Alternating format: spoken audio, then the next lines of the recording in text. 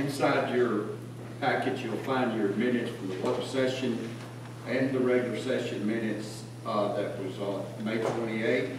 So if there are any additions, deletions, or corrections that you notice that needs to be made, please see Ms. Lovern so that that can be taken care of prior to tomorrow evening's meeting at five thirty.